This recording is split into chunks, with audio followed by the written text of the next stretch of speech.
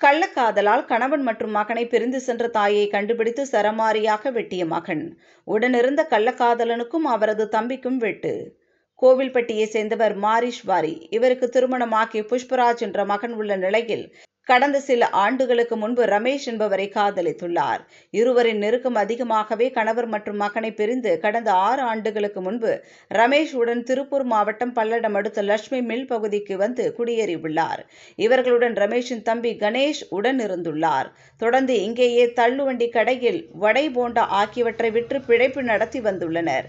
இந்நிலையில் இன்று மாலை மாரீஸ்வரியின் முதல் கணவரின் மகன் புஷ்பராஜ் தனது தாய் இருக்கும் இடத்தை அறிந்து வந்து தகராறில் ஈடுபட்டுள்ளார். இதில் வாக்குவாதம் முற்றிய நிலையில் புஷ்பராஜ் தான் மறைத்து வைத்திருந்த அறிவாளை கொண்டு கணேஷ் ரமேஷ் மற்றும் தனது தாய் மாரீஸ்வரியை சரமாரியாக வெட்டியுள்ளார். இதில் மூவருக்கும் பலத்த காயம் ஏற்பட்டது. தொடர்ந்து ரமேஷ் மற்றும் கணேஷ் இருவரும் புஷ்பராஜை தாக்கியதில் அவருக்கும் காயம் ஏற்பட்டது.